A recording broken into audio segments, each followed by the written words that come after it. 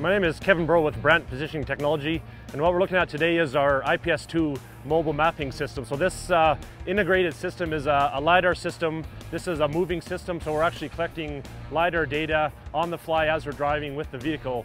Um, some of the applications of this system are through oil and gas, construction, survey, and engineering. So it's both a mobile mapping system for asset management, um, inventory, and as well as survey grade for topographic surveys, um, design purposes. So what the truck integrates is we've got this model on our stock F-150 truck, and the system includes a uh, GPS antenna at the top, uh, a 360 high definition camera, and a, the, the big component is of course the LiDAR system, which is that rotating scanner, and it's, it's picking up data at 1.3 million points per second. So we're covering a huge amounts of, of ground and territory and data all at once. This whole system, all that data is, is processed through a, a, constant time clock. That data is streamlined into our cab of the truck, into our data logging computer, where all this stuff is stored, and that data is removed afterwards. We take the hard drives out, we can put that into our PC computer, and the data is processed from there. So as an operator of the system, I'm in the driver's seat, I have my monitor beside me.